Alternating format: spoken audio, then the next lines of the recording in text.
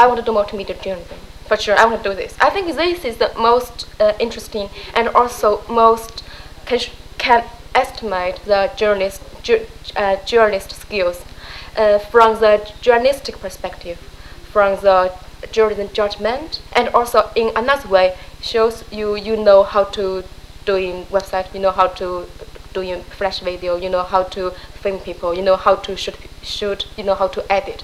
So it's multi skills. I think, in fact, any industry they're looking for this.